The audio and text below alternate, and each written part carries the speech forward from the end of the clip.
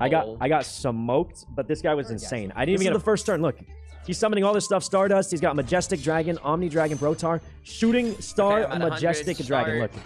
Spend but it's not over. That was the first turn, right? Enter. He gets another one. spend- no add.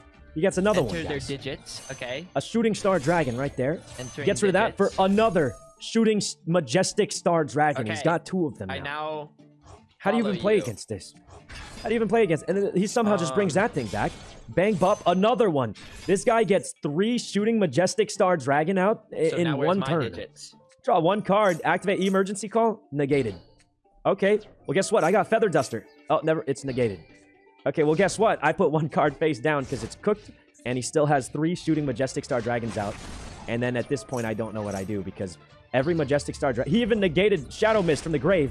Every majestic star attacks multiple times. I need whatever deck that is, guys. Kuno? That's so busted.